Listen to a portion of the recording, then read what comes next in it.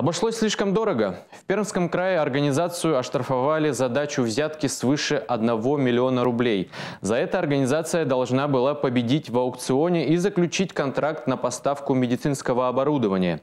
Но не повезло. Должностное лицо от взятки отказалось и сообщило об этом в правоохранительные органы. В результате суд признал организацию виновной и назначил штраф в размере 10 миллионов рублей.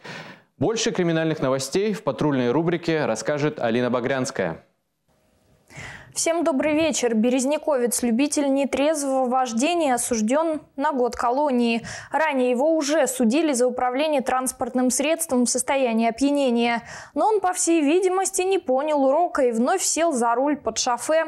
За это его на год лишили свободы и отправили в колонию поселения. Ну и, конечно, лишили права заниматься деятельностью по управлению транспортными средствами на 4 года.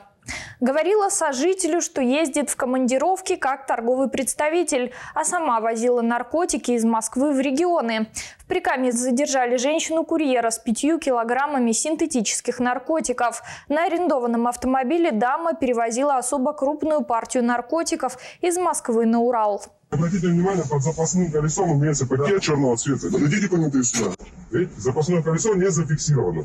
Полицейские обнаружили пять пакетов, внутри которых находилось наркотическое вещество. Задержанная призналась, что выполняла роль оптового курьера в интернет-магазине по продаже запрещенных веществ. Все оперативные расходы, в том числе проживание и аренду автомобиля, оплачивал интернет-магазин. Женщина рассказала, что за каждую командировку ей обещали вознаграждение в размере 125 тысяч рублей. Возбуждено уголовное дело. Подозреваемая под стражей. Расследование продолжается.